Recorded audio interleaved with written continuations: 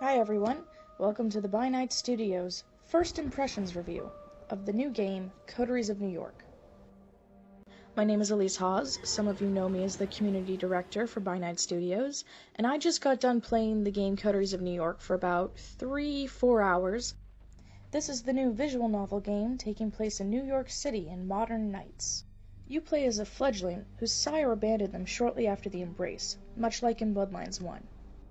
What really stands out for me in this game when I played it was the music. For sure, right on the title screen, there it is, this subtle tone, these small beats that really just bring in the atmosphere and the theme for the rest of the game. It, with headphones, it just flows into you, and you hear this tiny beat in the back of your head almost throughout the entire game, mimicking the beast that is very present within the game and V5 and so the music, especially with headphones, comes through and just demands attention while at the same time being this subtle, constant pressure that is put upon you that just draws you into the atmosphere of the game. There are a few downsides to this game, and it's really coming to the choices that you make in the game. They don't seem to have much of an impact on the story. You can't be foolish enough to get your character killed right out of the gate, and since I've played to about day 6, it looks like the choices don't have too heavy of an impact either, but perhaps I haven't gotten far enough.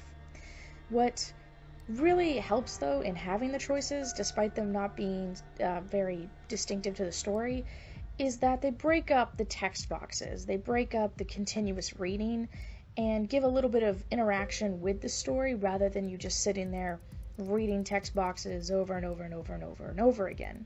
But it really is just a visual novel. It really isn't a pick your own adventure. So if you go in with the thought that, yes, this is a visual novel, I think you'll still have a wonderful time in this game and play it with headphones. I can 100% recommend it.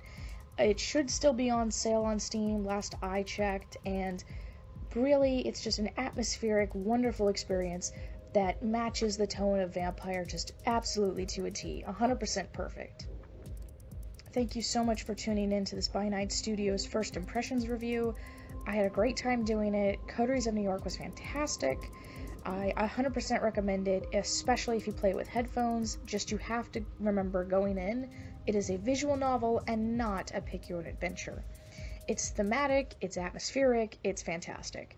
I hope to do more of these reviews in the future when Bloodlines 2 is released, and please follow us on Facebook, Twitter, and Instagram. Links will be in the description below.